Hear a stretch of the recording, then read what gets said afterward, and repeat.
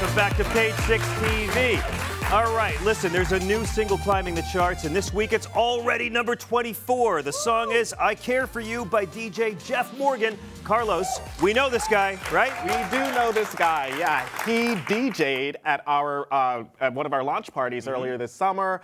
I actually play this song when I'm running in the morning too. Yeah, so he's a really fantastic kid. He's a, he goes to Syracuse University as well, and the, so he's doing really well with this single. Not too shabby. Bevy, what's your take? Well, you know, I always like the hobnob with the stars, so I was very happy to meet him at our launch party, and I have to say, he's divine and delightful. And Elizabeth, I, uh, I am told you have some tea to spill about DJ Jeff Morgan. I do, I do. So I can exclusively report that it is his 20th birthday. Very nice. Happy birthday to you, Jeff. Only one year until you can have your first beer. And thanks for classing up our party. And most importantly, Jeff, uh, if you don't want it on page six, don't do it. Don't do Great it, one. Jeff.